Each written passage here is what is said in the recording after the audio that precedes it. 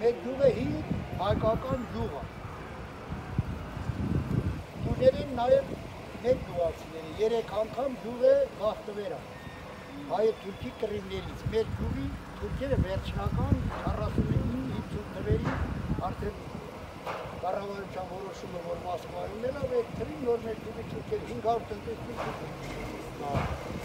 մինչև այդ մասը ներքևը լրիվ թուրքի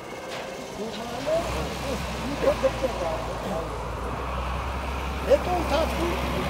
կաներ շատ են ելել բանից Պարսկաստանի խոյ գավառից Սալմաստից, եկե հիմնական արդեն եկե տեղավոր բնակ վերեն, եղեք նադորի վերնաշեն գյուղից ունենք շատ բնակիչներ։ Ու վերջնական վերջի կռիվներին մի 3 տուն այլ է թուրքը մնացավ, հետ էլ գնաց է։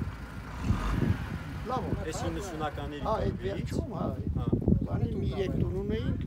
իհարկե սրանք լրիվ հայկական դպրոց էին, եթե մալա մի երկուսը գերազանցել հայկական դպրոցը ավարտել։ Ադրբեջանցի։ Ադրբեջանցիներ։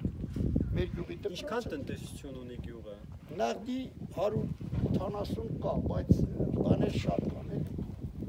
Դրսերում։ Դաշտ է, հա։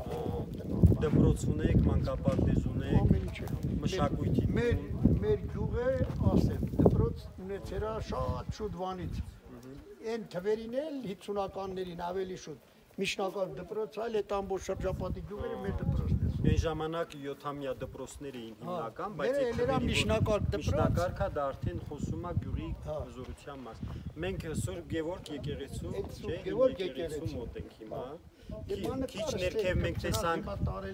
Քիչ ներքև աչի վրա մենք տեսանք ժայռի վրա Սուրբ Գևորգ մատուր։ Այն, Հա, տեսանք մենք։ Հիմա մենք գնում ենք դեպի Սուրբ Սիոն,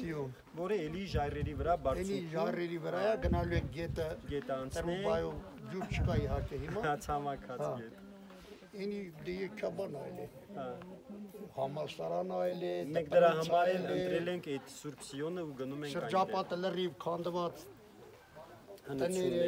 հանրակացարանները, վերջը դասատուների երեք աշակերտների ապրել։ որպես համալսարան կրթության օջախ։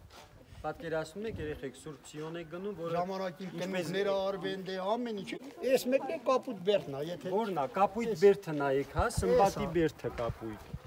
Այս ժայռի վրա։ այն քանի վրա է։ Գնան դեպի Սուրբ Սիոն։